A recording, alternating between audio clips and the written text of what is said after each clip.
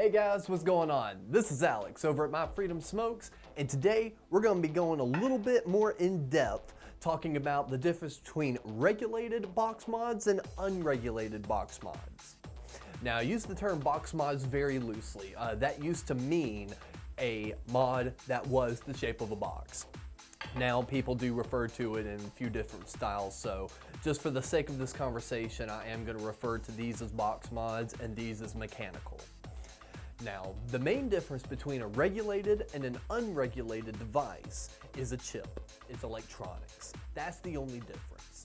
Prime example are my two personal mods right here. I've got the Kanger Subox uh, Mini Nano. Uh, actually, no, it's just the Mini. I don't know why I threw Nano in there. It's been a long day. And I've also got a mechanical mod. I've got a um, tugboat mod with the Mad Hatter on top. Now, as you see, when you press a button on this, you got a little screen that pops up. Uh, you've got variable uh, voltages and wattages down here at the bottom. With an unregulated or a mechanical, that's no longer in play. It is strictly battery to atty power. You're not having anything else sitting in between. I brought out a few other examples too. Uh, for instance, this one looks very similar to this. This is gonna be the Cherry Bomber, and this is the Snow Wolf. Okay, from the outside they look pretty similar, uh, maybe to someone that doesn't even vape, but these two could not be further apart from each other. This one is a regulated box mod. You can control your wattages and voltages right here on the side. You've got a screen in the front showing you what those settings are. With this device, you do not have any of that. You do have your batteries, but that's it. These two batteries in here power that atomizer.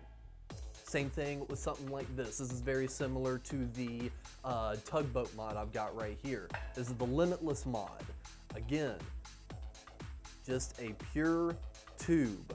This actually has direct atty to battery contact, so there's not even something separating that. But with this one, it's very similar to this also. You've got a little screen right here to let you know what your settings are, what your battery is. This is a regulated mod. So, with that in mind, which one is best for you? well, you kind of have to look at it from a few different lights. It depends on uh, how comfortable you are, how much you know your battery safety and Ohm's law, and just pure convenience. Uh, if you're someone that's not a real big fan of dripping, but you really do like bigger clouds and a lot of flavor, we recommend a regulated box mod with a sub tank because that way you're gonna be able to vape on the go, it's very low maintenance and very easy for anyone to pick up and start using if you're interested. For a unregulated, those I really recommend for people that have been vaping for a while because you do need to know about your Ohm's law and your battery safety. Because with the build I've got in here, if my battery was not safe, I wouldn't be able to do cool stuff like this.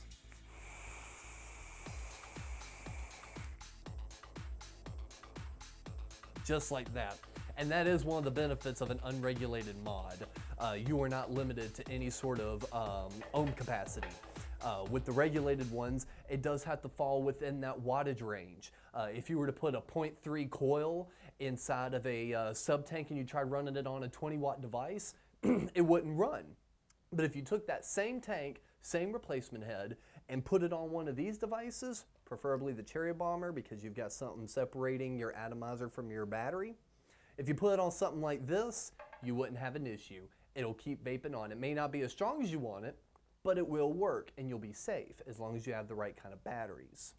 So again, in review, these are going to be the unregulated where there is no mechanics other than your firing button and that's it.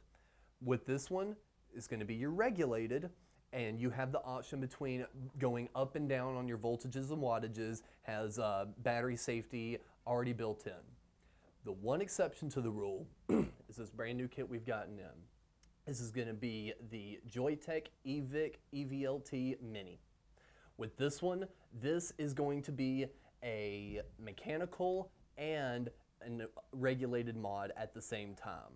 You do have the option between switching between the modes. So you do have an option for temperature control, uh, regulated, and unregulated. Now when I tried this in unregulated mode, It's not a pure unregulation. I was thinking that when you got a mod like this one and it said unregulated, that means that you'd be able to switch between that setting and use it just like a mechanical like you would here, bypassing any of the electronics. Joyetech was still smart and put safety in your hands. If you try to put something in this that is below a 0.3, it will not read it. That is for your safety. Most people do not go lower than a 0.3 because of battery safety. You need to know your Ohm's law. Thankfully, Joyetech has solved that for you and they're wanting to make sure you stay safe. So there are even mods that toe the line between the two. So it's honestly something you're just gonna have to take into consideration, something to kind of think on a little bit and figure out exactly which mod is gonna work best for you. And honestly, this is working great for me right now. My name is Alex. I'm over here at My Freedom Smokes, and this has been the differences between unregulated and regulated mods. So if you have any questions, always feel free to leave a comment below. Thank you for vaping.